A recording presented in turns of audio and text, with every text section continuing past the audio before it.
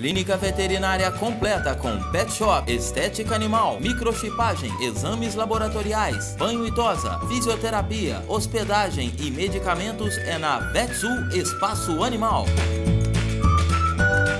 A Burger House acredita que a qualidade pode mudar os seus conceitos.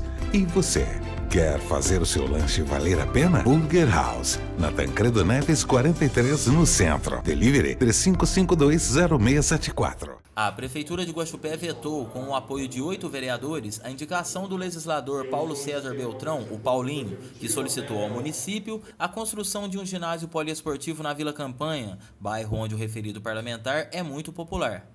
O projeto, que foi apresentado pelo político via emenda aditiva na Lei de Diretrizes Orçamentárias, obteve o apoio de apenas cinco parlamentares municipais, os quais deliberaram sobre a questão nesta segunda-feira, 14 de agosto, durante a 12ª sessão ordinária.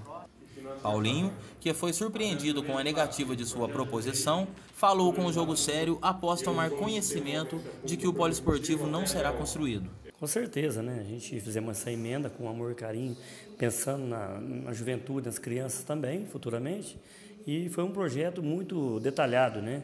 A comunidade pediu, não foi o Paulinho Beltrão vereador, a comunidade queria que fazia lá, que o espaço é público, né? E aquele setor dali, nada foi feito até agora, muitos anos, para a população dali. Então, onde como eu, como eu represento lá, eles me cobram todo dia o que vai ser feito lá, né? Em defesa de Paulinho, também na sessão da Câmara desta segunda-feira, o vereador Jorge Batista Bento da Paz, o Jorginho, manifestou-se. A minha defesa foi em prol, principalmente, do legislativo, porque na justificativa do executivo, é, ele alega que não cabe a vereador entrar com esse tipo de emenda, o que eu discordo totalmente. Né? Eu, com os meus mandatos anteriores, a gente sempre apresentou emendas na lei de diretrizes orçamentárias, no orçamento anual, no plano plurianual. Então não é só é, o vereador pode entrar com esse tipo de, de emenda, como ele tem obrigação, o dever, é papel do legislativo. Por outro lado, o líder do prefeito Jarbinhas na Câmara, vereador Leonardo Donizete de Moraes, o Léo, defendeu a municipalidade. Que a gente não vê, o que, que é, não tirou a possibilidade de existir esse poliesportivo na região.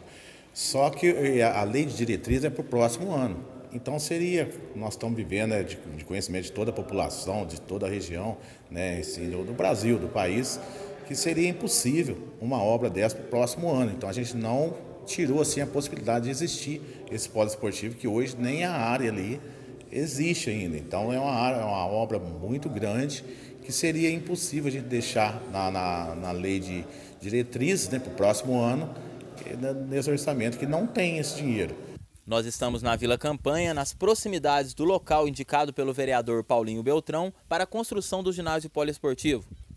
Apesar de que, segundo ele, os moradores eram todos favoráveis a essa edificação, o veto da prefeitura impede que, pelo menos por enquanto, este sonho seja realizado.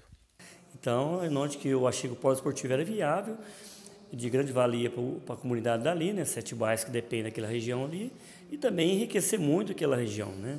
A gente vê hoje o Bela Vista tem um pós-esportivo, vai lá, todos os eventos é feito lá, nos outros bairros aí, e lá nada, só tem aquele campo que a gente ainda, a comunidade ainda cuida, né?